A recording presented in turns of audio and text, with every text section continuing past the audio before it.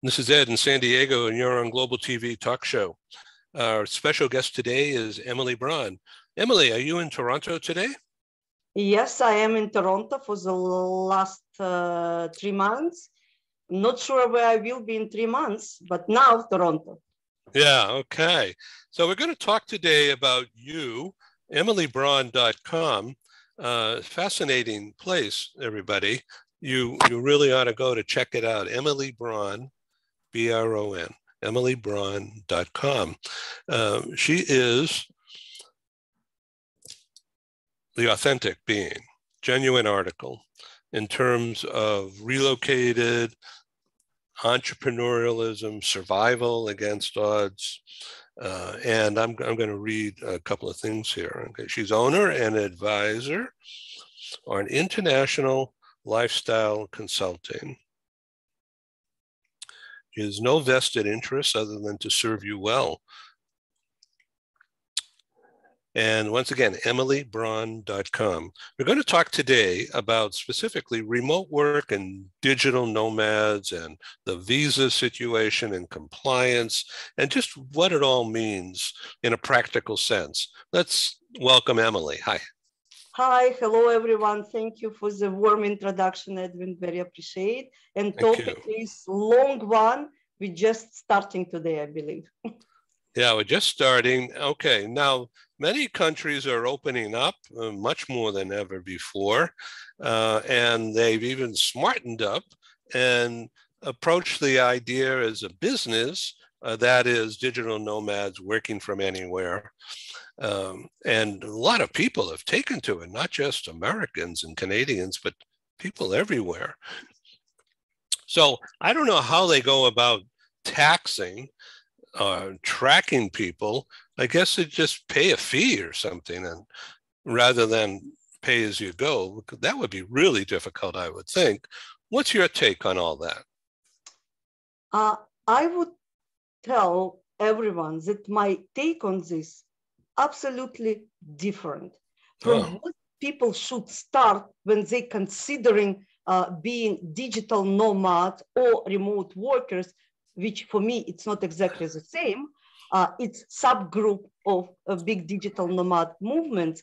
But what I'm saying before to be engaged with this way of thought and actually direction for your relocation, uh, person should clear understand what kind of lifestyle and what actually he should expect if whatever would be new place would be really matching like his ideas of today.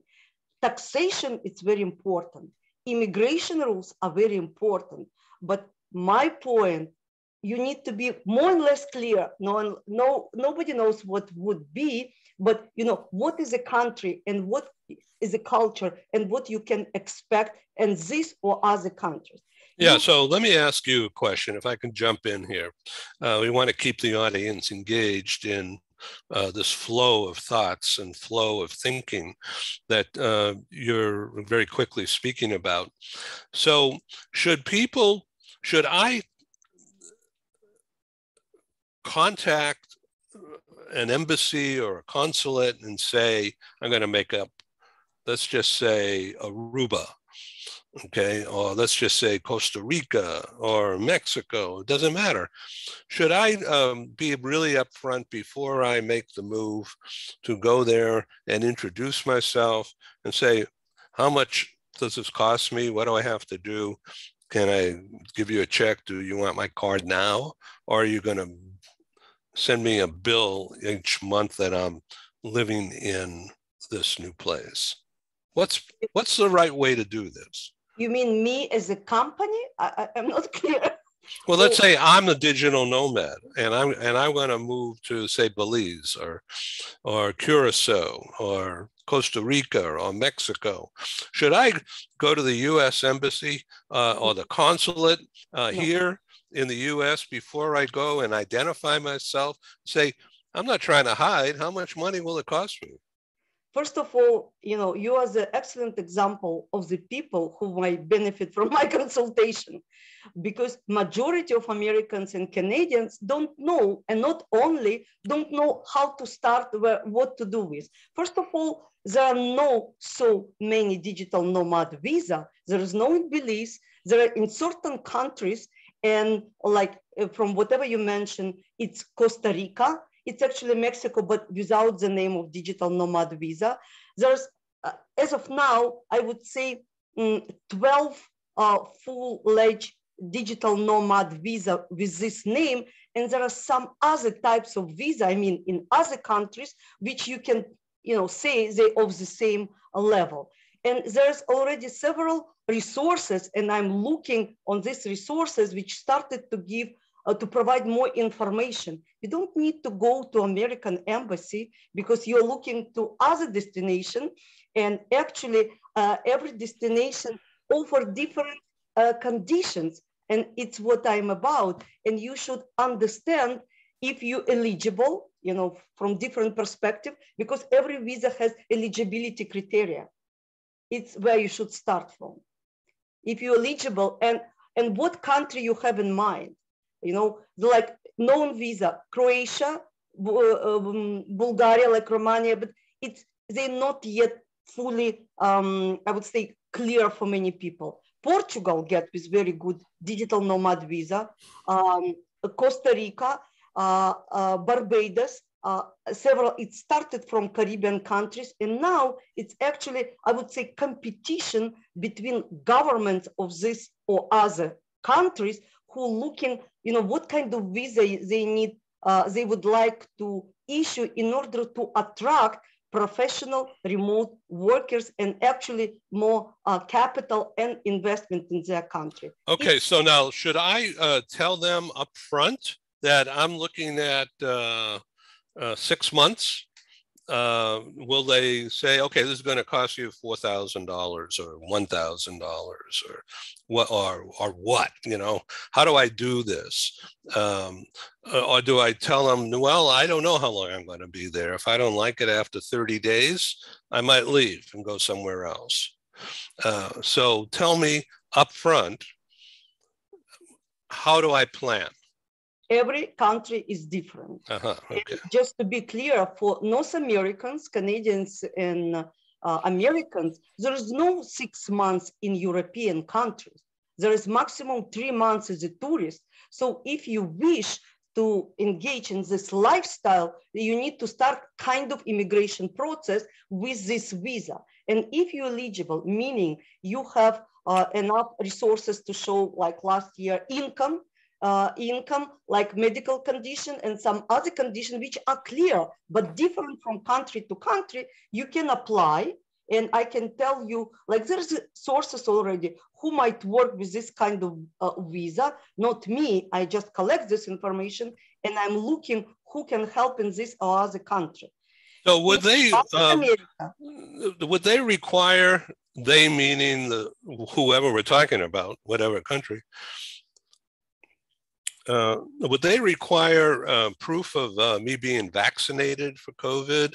Yeah. Uh, would Sometimes. they, and what kind of insurance? Would, would they require that I have some kind of uh, medical plan um, so that um, I'm covered, not in their system, but my own uh, global health plan system?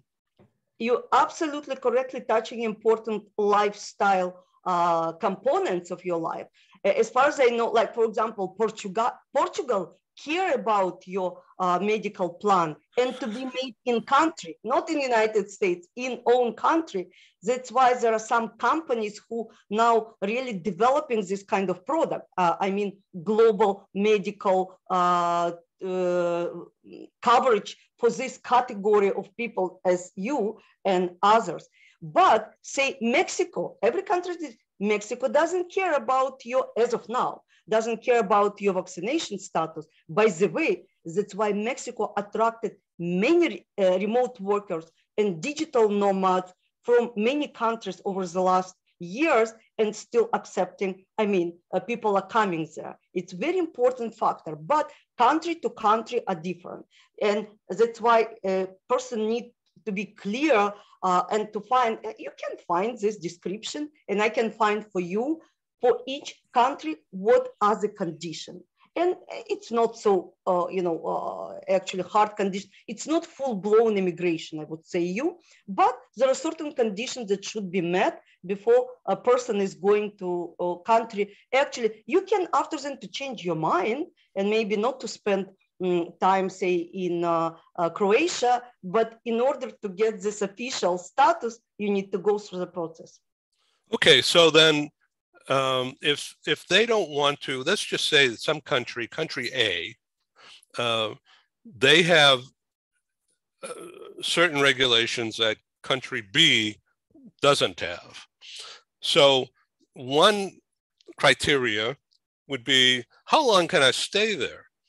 And if they say, well, 30 days and you can renew it, uh, or six months and you can renew it, or three months and you can renew it, so that means that if I don't like them or they don't like me, I could pick up and leave, no penalty, and go next door to Panama or to wherever. So first of all, we need to determine the time you plan to be away. So if it's Mexico, six months, you can go as, uh, as a tourist without any kind of immigration process involved. If it's Costa Rica or other country, it might be three months. Uh, the same is for, for Europe. And uh, I can tell you, and again, uh, uh, being um, having status in one country in Europe, uh, actually helping you to travel or to spend other, you know, time in other countries as well legally. Again, as American, you cannot spend more than three months in Europe in Schengen zone. Okay, let's be more uh, correct in Schengen zone. But today you have uh, Montenegro, the latest uh, visa, uh, which is known Montenegro. Two years you can live in Montenegro with a renewal option of the next two years when time will come, uh, living and working with this country. Just as the main condition in many of these countries, you bring, uh, you don't take local work, you bring your work and income from outside, but you spend your money and time in local country supporting the local economy. There is a kind of one of the main ideas of this visa.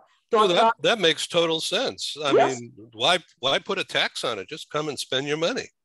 Yeah, but as American, you should remember that you will anyway to pay tax in uh, United States, but you will be enjoying your life in say Montenegro or actually making your business, uh, you know, develop.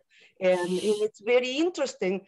And uh, even in Montenegro, it's part of European Union. It's kind of not uh, fully. Uh, and what what I like, by the way, in Croatia, because you live in Europe, but kind of outside of Schengen zone, so you can uh, you can after then spend three months or start three months living in Portugal as a tourist. Three months, it's enough time for you to enjoy the life, to understand uh, the you know yeah. environment, and actually to think if it's place you wish to live kind of rest of uh, time.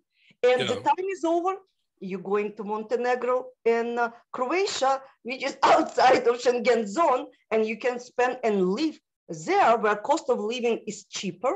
Uh, climate might be even better uh, than another like, uh, you know, Sweden, for example. I mean, in winter time and UK time.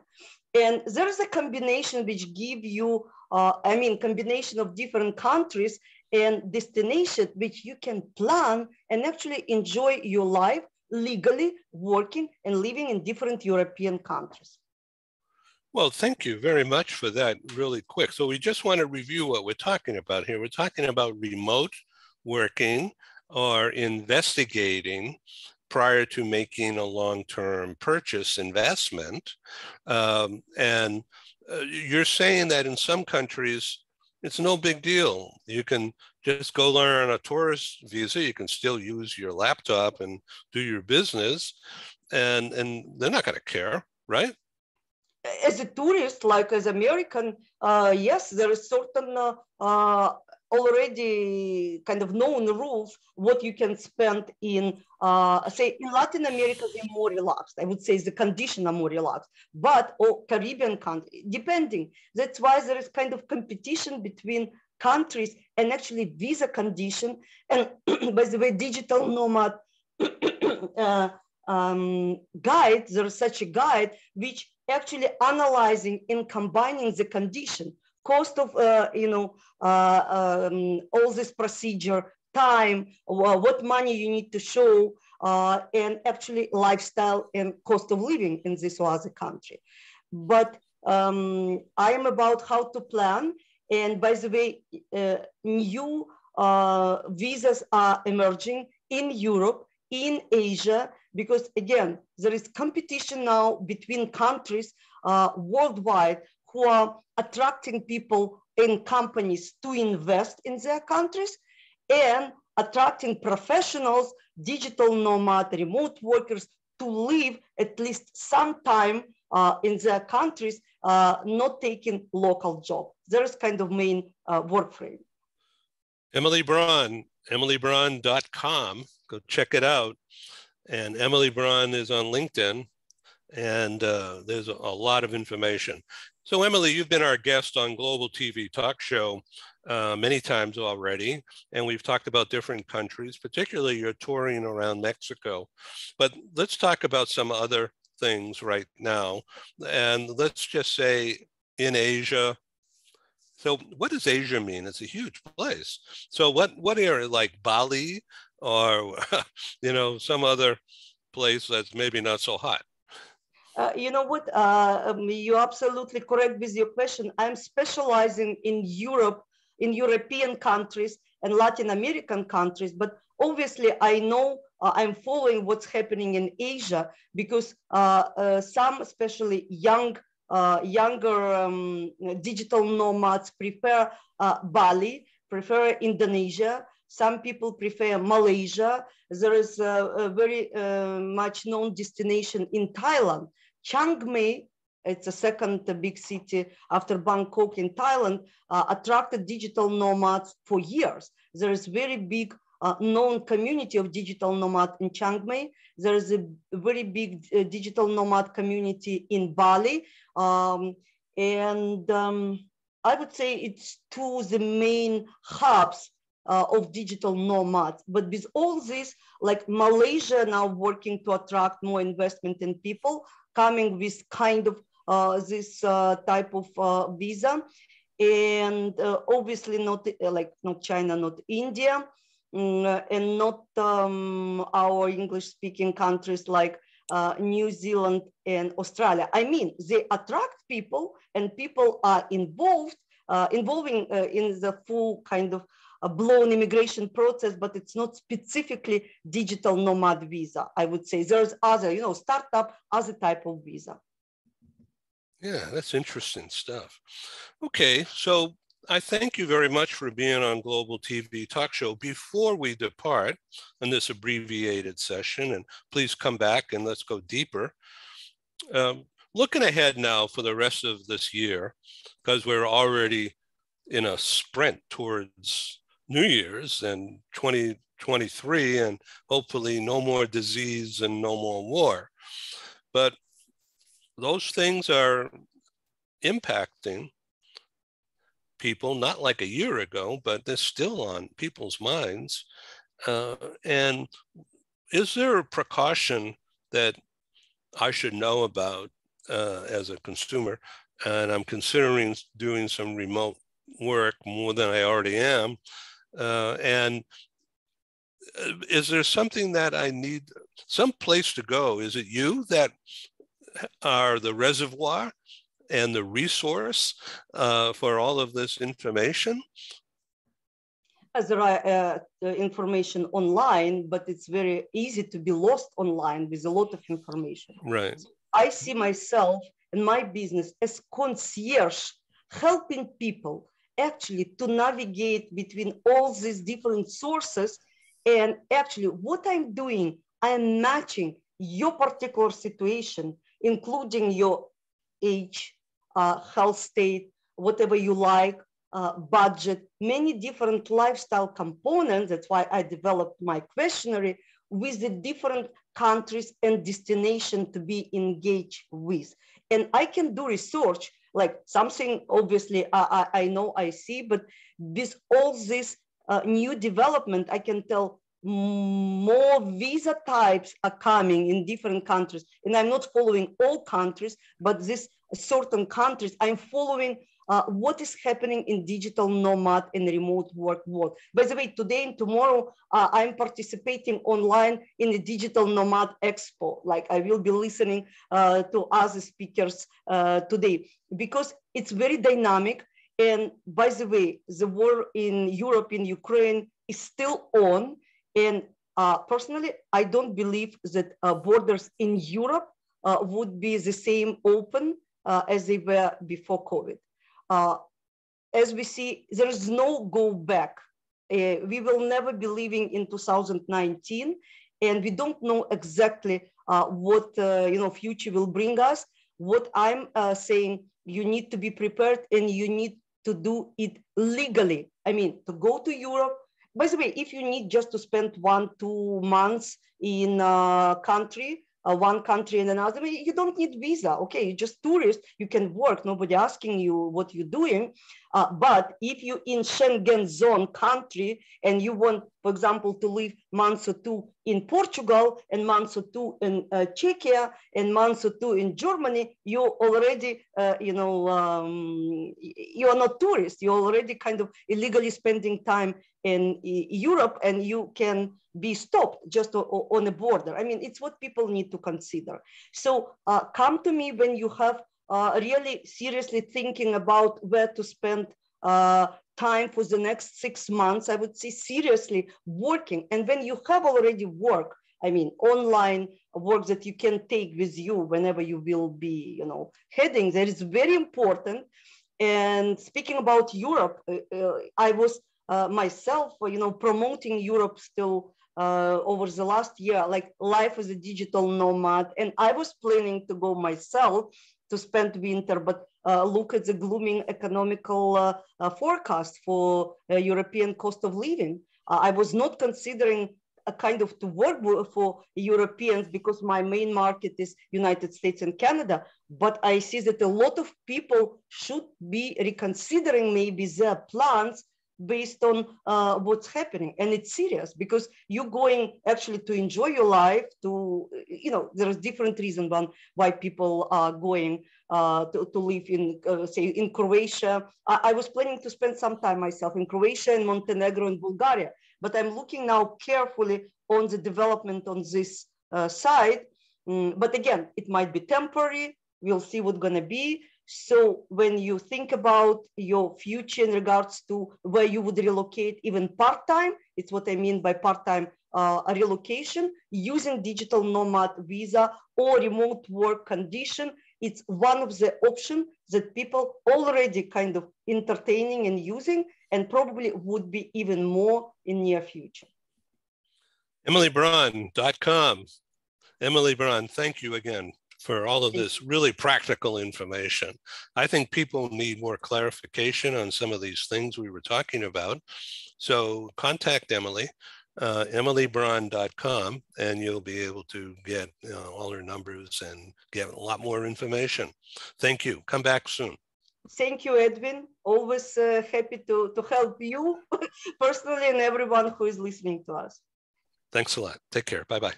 Bye. Thank you.